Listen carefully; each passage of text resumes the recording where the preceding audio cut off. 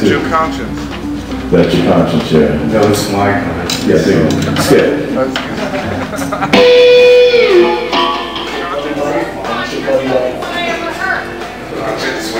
It's Yoko.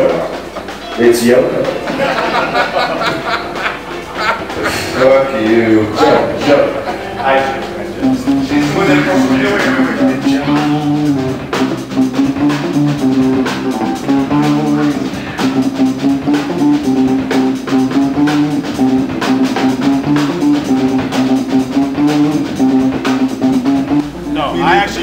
Bartend a club in Orange, New Jersey called Wallace's.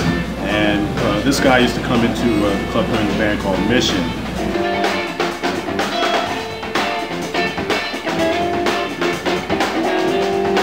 At that time, you know, he was a pretty groovy guitar player. and, I, and I said, you know, that there was something happening here. And he was like, he cheated on his, his other musician friend, so.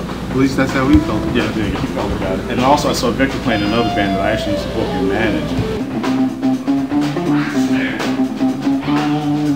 And Matt Goldberg. Oh, right. Yeah, with uh, the, you know, I used to play with like Scofield and all these guys. I mean, I used to go to this club so much. I had to All these guys are making there. more money than we are at this point. Excuse me? All these people who are making more money than we No, are. no, they weren't. That's not the money of the book. But now.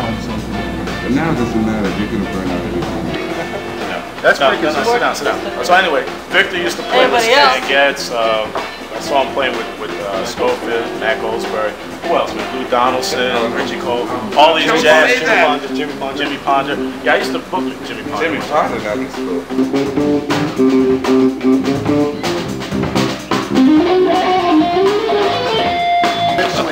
I don't know these guys. I really, I don't know these guys. Okay.